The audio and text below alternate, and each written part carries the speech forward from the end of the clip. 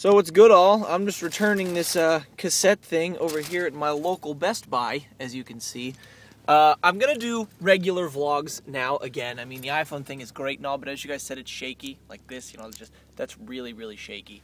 So I'm gonna be doing regular vlogs. I just want to let you guys know what's going on, what I'm doing right now. I'll get back to vlogging today. Sorry for the thing. I've just been really busy and you know with stuff happening, and so I will see you guys later.